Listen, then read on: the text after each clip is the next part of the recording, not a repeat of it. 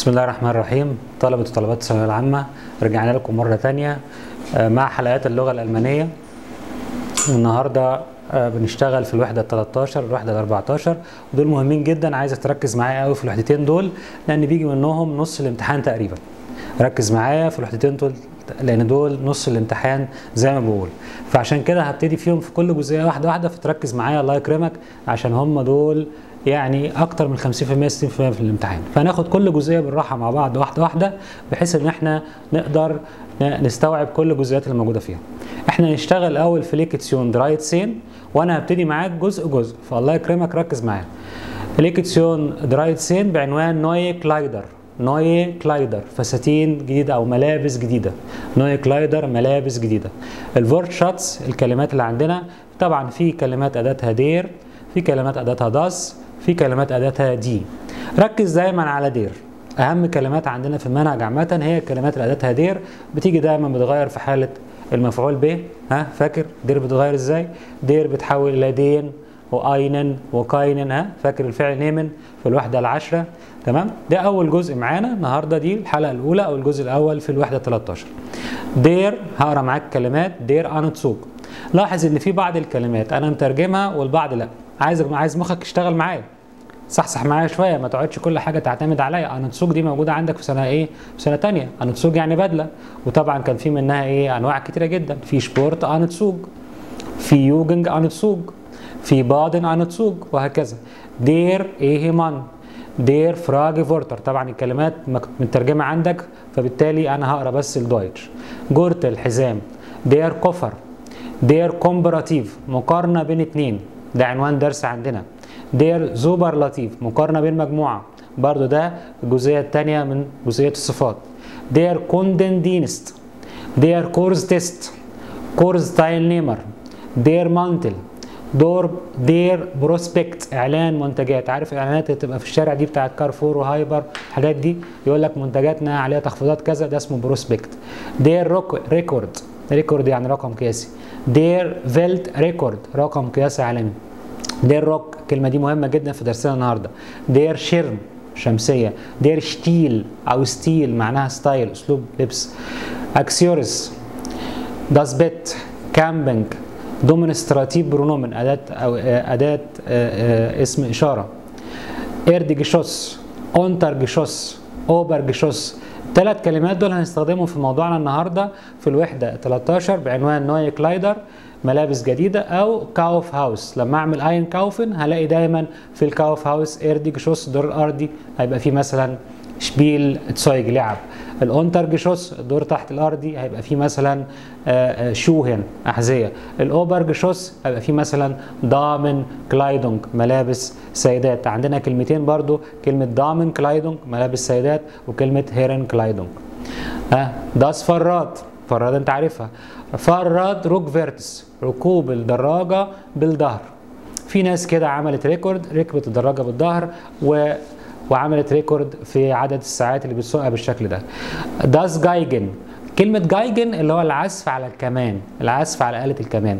لكن die Geige اللي هي آلة الكمانجة das Feuerzeug ولاعة. طبعا das Feuerzeug geben كان في عندنا في الوحدة ال 12 قول له könnten Sie mir Feuer geben möchte eine Zigarette rauchen. أنا عايز أدخن سيجارة. könnten Sie mir Feuer geben ممكن تديني ولاعة.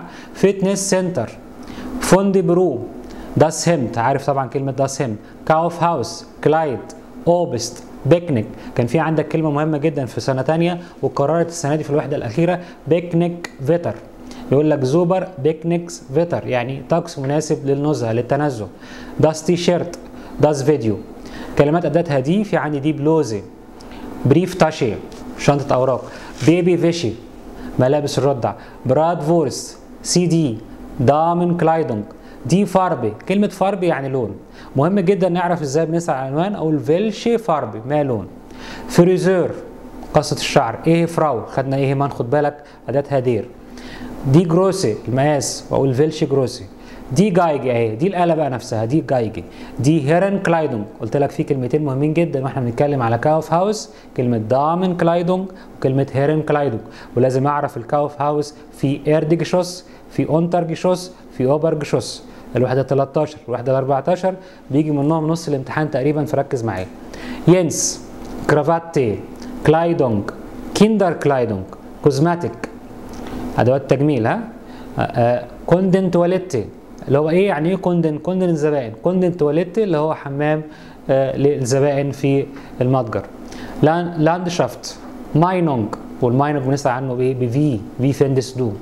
Menschheit Modedesigner Modeboutique Modeschau كلمة Schau يعني عرض و Mode يعني موضة عرض للموضة Schreibwaren أدوات مكتبية Sandale طبعا معروفة من اسمها Socke دايما بنحب نعمل تمرين كده اهوت على ال Wortschatz على الكلمات ما انت بعد ما حفظت كلمات انت مش هيجي يقول لك سمع كلمات قلناها قبل كده ركز معايا كده بقى شوية وابدا حل الكلمات احفظ معايا كلمات الأول وبعدين حل معايا der ولا das ولا die Rock قصيره طبعا روك اداتها der der ولا das ولا die Hemd. Hemd محايد ها؟ قلنا معظم الكلمات اللي اخرها D زي das Kind das Hemd ها؟ das Bild كلهم أداتهم إيه؟ das Passt Ihnen هل يناسب حضرتك der ولا das ولا die? Hose. بنطلون أداته إيه؟ die. die Schuhe الحذاء ولا Kleid الفستان ولا Hemd? sind schwarz. هنا عايزك تركز معايا شوية بقى. ركز معايا بقى كده شوية عم طاطا كده. ركز معايا. sind. يبقى عايز جمع فين الجمع بقى هنا؟ Schuhe حذاء. die Hose البنطلون. gefallen ولا gefällt ولا nimmt? إننزير طبعا لما أجي أقول الفعل يعجب. لما أقول الحاجة دي عجبتني البلوزة دي عجبتني البنطلون ده عجبني الجاكيت ده عجبني يبقى الجاكيت هو الفاعل. ها؟ آه لما تقول البنت دي عجبتني. آه فاكر؟ البنت دي عجبتني. طالما البنت عجبتني يبقى هي الفاعل. هي اللي خلتك تعمل كده. فركز معايا يبقى هي دي بقى إيه؟ هي الفعل. يبقى الفعل جفالا قبل الشيء هو الفعل. الفعل باص يناسب الشيء هو الفعل. الفعل اشتهي يناسب الشيء هو الفعل. فأجي أقول لك إيه؟ البنطلون ده مناسب عليك. يبقى بصرف الفعل يناسب مع كلمة بنطلون. البنطلون ده ها يعجبك. هو اللي خلاك تبص عليه. هو اللي عمل الفعل. هو اللي عمل الأكشن يعني. فأصبح هو الفعل. فدي هوزة مفرد. جفالا ولا جفلت؟ لا هتبقى جفلت. طب دي هوزن. خلاص بقى ما انت عرفت يبقى جمع جفالا طيب دير ولا das ولا die Jacke ist günstig. كلمة Jacke يعني جاكيت ها؟ معظم الكلمات اللي اخرها E أداتها die die Jacke. أنا يهمني بس كلمة günstig دي ركز عليها شوية لأن في كلمات تانية كتيرة جدا مشابهة ليها بتجيلنا في قطعة الفهم. فيقول لك مثلا كلمة günstig في قطعة الفهم ويجي تحت يقول لك بتساوي إيه؟ günstig بتساوي preiswert بسعر معتدل بتساوي billig رخيص بتساوي nicht teuer ليس غالي. كل ده كلمة واحدة. يعني لو قال لي günstig هي هي preiswert هي هي billig هي هي nicht teuer der ولا das ولا die Mantel ist. ها جابوا هنا مفرد يبقى der Mantel. Ich finde ركز بقى هنا هون. هنا هون الجملة الأولانية كان في ist وفي اسم واحد اللي هو Mantel. فقلنا اداته der فاعل. مفيش مفعول به. في طرف واحد في الجملة. جملة رقم 8 Mantel فاعل. جملة رقم 9 كان في عندي طرفين ich? أنا ها وال Mantel أهو. أنا أجد البلطو أنا أشتري البلطو أه يبقى افتكر على طول كأن في نيم من هنا. في مفعول به في طرفين في الجملة. يبقى den Mantel langweilig يعني ممل يعني مش على الموضة. Timo kauft طب Timo اشترى إيه؟ eine ولا ein ولا einen Pullover? بلوفر اسمه مذكر. ها einen und eine ولا ein ولا einen Hose? Hose إيه؟ ها مؤنث يبقى أقول إيه؟ eine Hose. أول قاعدة عندي في ال Grammatik سهلة جدا. أهم حاجة تعرف الأداة. أهم حاجة تعرف الأداة. إحنا أول قاعدة عندنا اسمها السؤال عن الاسم المعرفة والتعويض عن الاسم المعرفة. رايح أنت وصاحبك بص كده على فاترينا وفي عجبتك مثلا آه عجبتك مثلا عجبك مثلا بدلة معينة أو عجبك تيشيرت أو أنت كده عجبتك بلوزة معينة أو عجبتك جيبة معينة. بتقولي لها إيه؟ بصي كده البلوزة ديت. فتقول لك اني بلوزة؟ تقول لها دي. ها هي بتقول لك أي وأنت بتقول لها دي أو هذه. ها يبقى أي بلوزة. عارفة لما كان بيقول له أنهون وأنهين هي دي كده زيها بالظبط. فهنا بيقول له إيه أي بلوزة عجبتني؟ قال له ديت. طب إزاي بقى؟ بنسعى نعوض على اسم المعرفة ونسعى على اسم المعرفة. طب الأول إيه هو المعرفة؟ المعرفة كلمة أداتها der زي كلمة der Rock. يقول له der Rock ده. أو كلمة أداتها das زي كلمة das Kleid الفستان. أو كلمة أداتها دي زي كلمة دي بلوزة. ها؟ أو كلمة جمع دي زي دي همدن طب إزاي بنعوض؟ يا إما نعوض بالأداة يا إما نعوض بحاجة اسمها ديزر. نعوض بالأداة نفسها أو نعوض بحاجة اسمها ديزر. طب ونسأل إزاي؟ قال نسأل بحاجة اسمها فيلش زائد نهاية الأداة. يبقى التعويض عن المعرفة. يا إما بالأداة المعرفة نفسها يا إما بديز أو dies زائد نهاية الأداة. التعويض عن المعرفة.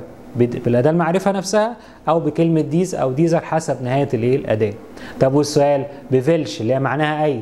فاكر معايا welche Farbe ما لون welche Größe ها؟ ما مقاس ليه قلنا welche عشان Farbe اداتها die وليه قلنا Größe عشان Größe اداتها die طب لو كانت اداتها اداتها das كنا قلنا welches لو كانت اداتها die den كنا قلنا welchen ركز كده معايا. der Rock ده الجيب هنا هون.